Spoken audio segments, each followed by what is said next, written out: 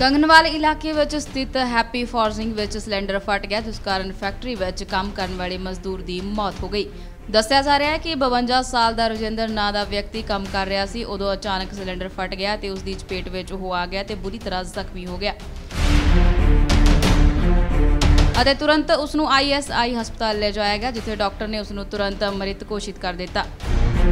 ਪੁਸ਼ਟੀ ਚੌਂਕੀ ਇੰਚਾਰਜ ਜੋਗਿੰਦਰ ਸਿੰਘ ਨੇ ਕੀਤੀ। ਮ੍ਰਿਤਕ ਦਾ ਨਾਮ ਹੈਗਾ ਜੀ ਰਜਿੰਦਰ ਰਾਏ। ਸਾਨੂੰ ਇਹ ਇਤਲਾਹ ਮਿਲੀ ਸੀ ਵੀ ਹੈਪੀ ਫੋਰਜਿੰਗ ਦੇ ਵਿੱਚ ਅੱਜ ਕਰੀਬ 1:30 ਵਜੇ ਦੁਪਹਿਰ ਸਮੇਂ ਸਿਲੰਡਰ ਕੋ ਬਲਾਸਟ ਕੀਤਾ ਵਾ ਜੀ। ਮੌਕੇ ਤੇ ਗਏ ਸੀ ਮੌਕੇ ਤੇ ਇੰਸਪੈਕਟਰ ਸਾਹਿਬ ਐਸਐਚਓ ਸਾਹਨੇ ਵਾਲ ਵੀ ਆਏ ਸੀਗੇ ਜੀ।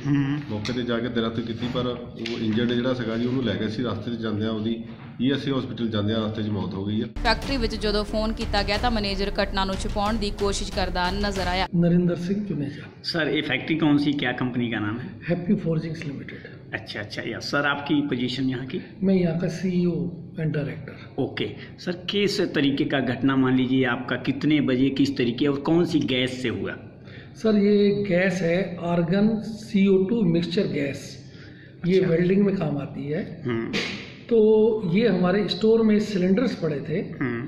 तो एक सिलेंडर उसमें से फटा हैगा।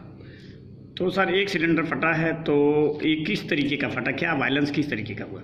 ये एक्चुअली एक ये सिलेंडर बाहर निकला वो उस- जो इकट्ठे पड़े हुए थे। स्टोर में से? स्टोर में से।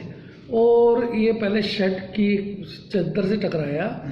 फिर ये शो फ्लोर में जाके जहाँ पे राजेंद्र राय काम कर रहा था हम्म। वहाँ जाके गिराएगा वो जाके फट गया वहाँ जाके ठीक ठीक है सर बाकी सिलेंडर आपने रिटर्न कर दिया कि हमने पड़े सारे सिलेंडर्स को ये तेईस सिलेंडर का एक बैच आया था हमारे पास हम्म। के के गैसेस से हम्म तो तेरह नवंबर को आया है हमने इमीडिएटली सारे अभी लोड करा के उनको वापस कर दिए